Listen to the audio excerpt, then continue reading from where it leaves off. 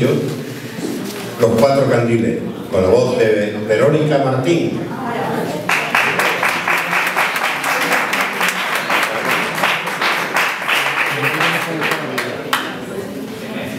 Gracias.